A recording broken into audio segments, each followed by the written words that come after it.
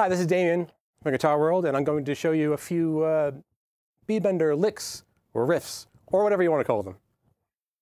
And they go a little something like this.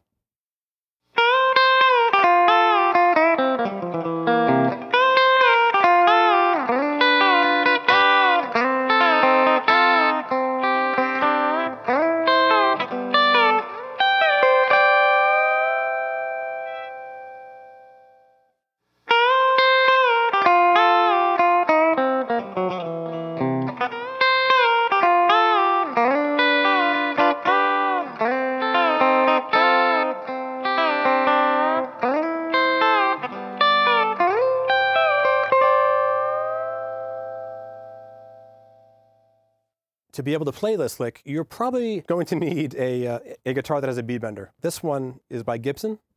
And what a bender is going to do for you is, all right, let's start on, this, this D note.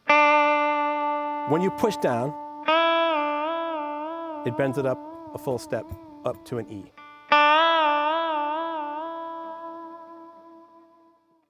So just to kind of explain what's happening, this one starts out in kind of a normal pentatonic bluesy position.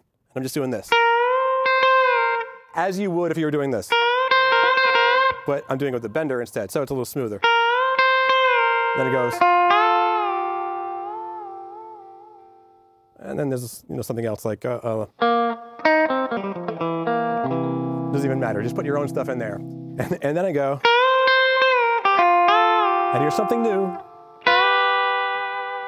And what's happening here is I'm starting out in seventh position, G seventh, and bending to a G.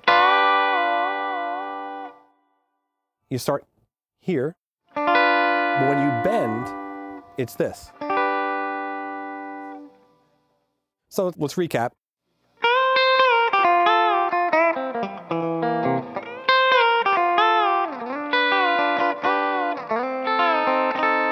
Same thing, but button F, and now we go to a C.